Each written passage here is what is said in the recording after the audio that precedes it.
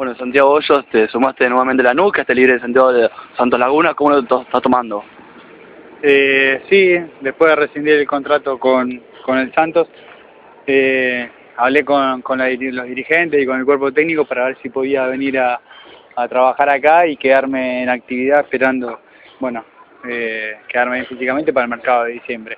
Así que la verdad que estoy muy agradecido a, las dos partes, también a mis compañeros que, que bueno, que me aceptaron eh, como uno más del plantel, así que nada, entrenando nomás. Recién mencionabas que estás pensando en el mercado de diciembre. ¿Cuál es el propósito? ¿Quedarse en Argentina, buscar algo en el exterior? No, eso no lo sé, todavía no, no se sabe nada. Muy temprano, estamos a mitad de campeonato. Mi, mi meta ahora es, es trabajar, es estar bien físicamente y, bueno, eh, simplemente eso, no, no, no, no ir más allá de eso.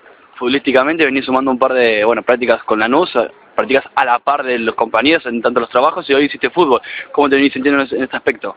Bien, pasa que hacía eh, 3 de junio que estaba sin tocar la pelota, entonces la verdad que, que pese hace tiempito de estar sin, o sea, entrenando, corriendo nada más, sin tocar la pelota, me siento bastante bien, me parece que, que de a poco vamos, me voy a ir poniendo a la par de ellos y, y la verdad que, que estoy muy feliz. ¿no? En la semana preguntamos a Guillermo justamente pensando en el mercado de pases de verano si podría llegarte a sumarte al plantel si es que se va uno de los defensores del fondo. ¿Vos pudiste hablar de ese tema con él? No, no, no, no, no, no, no. La verdad que no, no yo solamente, ya te digo, no quiero acá venir a entrenar y, y no, no, no, no meterme en los rumores ni nada, o sea, traer tranquilidad al plantel y, y simplemente, como te digo, ser ser, estar muy agradecido tanto al cuerpo técnico, a mis compañeros de dirigentes, por, por acogerme acá en Lanús y, y mi meta solamente es, es, estar bien físicamente, no, no traer ningún tipo de, de, inestabilidad, ni rumor, ni nada, simplemente tranquilo, trabajar y nada más sin duda te sentís muy tranquilo en Lanús y me imagino que estás de aportar desde afuera dándole consejos a los más jóvenes y, y, demás para que puedan conseguir el objetivo en la cancha los jugadores de Lanús. No, pero eso siempre lo, lo, lo hago y lo hice. O sea, también cuando no estaba eh, físicamente acá, mantenía contacto con mis compañeros y, y siempre, si se les puede, si, si veo que les puedo dar una mano a ellos, eh, siempre se las voy a dar, y ellos también a mí. También, Santiago, están entrándose con, con los compañeros en, en ensayo de fútbol formal, compartir un vestuario, es como que de alguna manera te vas integrando al grupo, ¿no? No, no, no. O sea, si tu pregunta va un poco más allá, eh, te digo que no. O sea, quiero dejártelo bien en claro que simplemente estoy entrenando y hoy se dio la oportunidad de compartir una práctica de fútbol, pero no, no, no tiene ningún doble sentido ni nada. Simplemente es entrenar y ponerme bien físicamente. Volviste después de algún tiempo, hay algunas caras nuevas. ¿Con qué grupo te encontraste en lo humano y en lo futbolístico? ¿Es mejor que el años anteriores? ¿Vos que te tocó compartir vestuario con jugadores también importantes? Eh, mira, sí, yo te puedo decir que siempre el vestuario de la nube es bueno. O sea, qué mejor, qué peor, eso no... Son todos amigos, son gente que que compartí muchos años, hoy por hoy entrar en la historia de la y verla a los chicos que hace por 10 años que los conozco es casi fácil.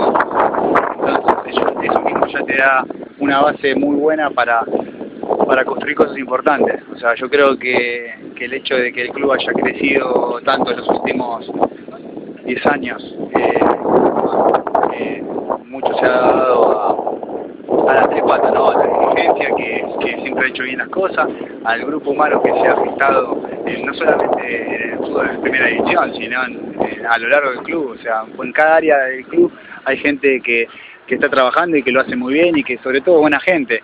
Eh, mismo muchos exjugadores, compañeros nuestros, siguen estando en el club.